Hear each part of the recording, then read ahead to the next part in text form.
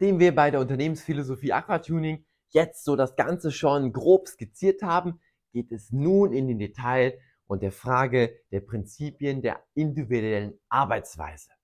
Was macht eine Person eigentlich selber, wenn sie unbeobachtet ist und für sich einfach ein, eine Aufgabe übernommen hat und daran arbeitet? Wir wollen ständig besser werden. Das ist wichtig. Der Fokus ist nicht, oh, ich mache jetzt eine Arbeit die nächsten zehn Jahre lang, ich bin so ein Lemming, so ein Roboter. Sondern wenn du die Arbeit machst, dann fragst du dich irgendwann nach ein paar Tagen oder Wochen, okay, wie kann ich das optimieren? Kann ich irgendwie Standardvorlagen machen? Kann ich Autoresponder machen? Was kann ich tun? Kann ich irgendwie Excel-Tabellen mir anlegen? Kann ich Shortcuts anlegen? Du fängst an, dich ständig zu verbessern. Wir haben Lust auf Leistung. Ja, in vielen Unternehmen ist das eine Katastrophe. Äh, die Leute starten motiviert und irgendwann wird das komplett abgetötet. Ich sag was, stell dir mal ein Unternehmen vor, wo die Motivation eines neuen Mitarbeiters mit seinem Bock auf Leistung fünf Jahre später immer noch da ist. Und nicht nur bei ihm, sondern bei allen. Ein Paradies. Willkommen bei Aquatuning. Es ist möglich, Lust auf Leistung über einen langen Zeitraum zu kultivieren, wenn die entsprechenden Parameter passen. Wir organisieren uns selbstständig. Auch hier, der Galerentreiber hat ausgedient. Ich sage, Leute, das ist euer Büro, das ist euer Arbeitsplatz, das ist euer Prozess hier. Natürlich bin ich der Prozessoptimierer hier, aber warum bist du nicht der bessere Prozessoptimierer? Du steckst doch drin. Ihr könnt euch kontinuierlich optimieren und gerade in der Abteilung, die wir letztes Jahr jetzt mit Support zum Beispiel komplett neu aufgebaut haben, ist das die Maxime. Fangt an, kontinuierlich an allem zu arbeiten, was möglich ist.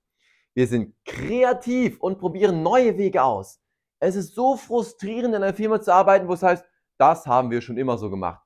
Ich bin im Gewerbungsgespräch und dieser Frust kommt raus, wow, ich bin neu dort, erstes Jahr, zweites Jahr, ich habe jetzt alles verstanden. Dann sage ich, boah, hier können wir was machen, hier können wir was ändern, hier könnten wir Chef, wie sieht's aus?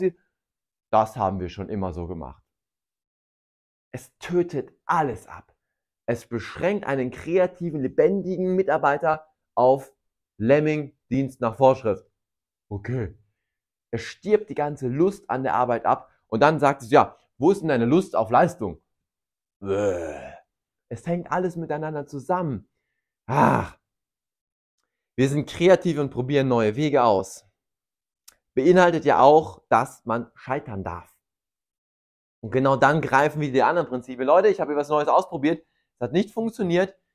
Damit alle Bescheid wissen, dieser Weg war nicht so gut. Lernt aus meinem Fehler und jetzt machen wir weiter. Attacke. Wir halten Ordnung und Sauberkeit. Als ich noch diese ganzen C-Mitarbeiter hatte, boah, wie das hier aussah. Ich denke, ich, ich habe das einfach nicht verstanden. Warum muss ein Büro so aussehen? Warum dieses Chaos?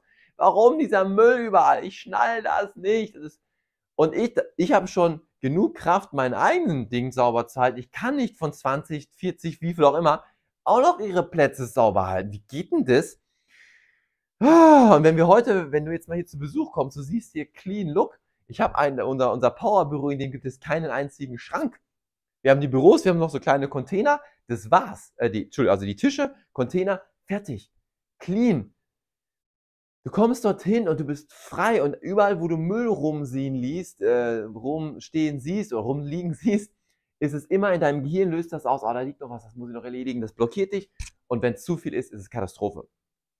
Ja, wir meckern nicht. Oh, wir meckern nicht, sondern, wenn wir nicht meckern, was machen wir stattdessen? Wir reichen Verbesserungsvorschläge ein. Auch hier nochmal ein Dank an Tempus, Jörg Knoblauch damals, Verbesserungsvorschlagsmanagement, habe ich eins zu eins von ihm übernommen und es hat diese Firma geholfen zu transformieren. Es ist wichtig und wenn ich neue Leute habe, sage ich denen direkt, du bist neu hier, in den ersten zwei Monaten hast du noch keine Betriebsbrille auf, bitte alles, was du siehst, was dir komisch vorkommt, sage es, frage mich, damit wir uns prüfen können, haben wir noch Verbesserungspotenzial, das wir selber nicht gesehen haben.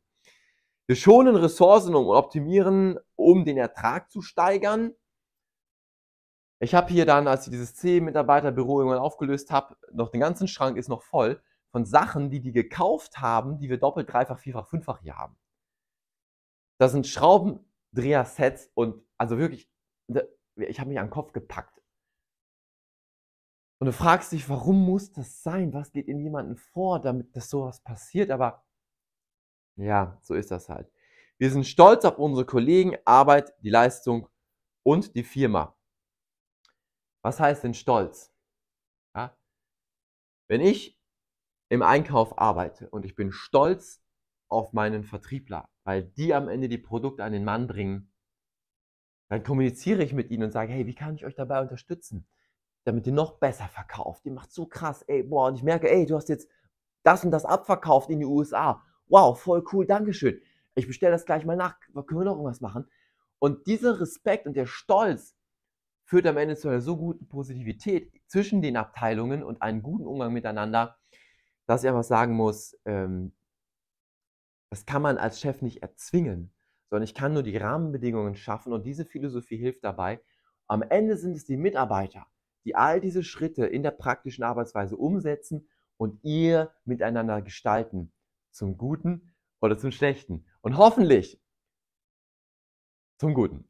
In dem Sinne also, wir sind gleich am Ende. Es gibt noch zwei Punkte zum Schluss und dann hast du das Herz von Aquatuning soweit schon verstanden. Und ich freue mich auch auf dein Feedback. Was macht das mit dir? Hast du, hast du vielleicht auch einen Arbeitgeber, der so eine gute, aus meiner Sicht, so eine Firmenkultur hat? Was sind deine Erlebnisse am Arbeitsplatz? Ich möchte mit dir auch in Interaktion treten, gerne in den Kommentaren und würde mich freuen, hier auch ein Like von dir zu kriegen oder ein Follow-up damit neueste Videos immer wieder bei dir auch landen. In dem Sinne gehen wir gleich einen Schritt weiter.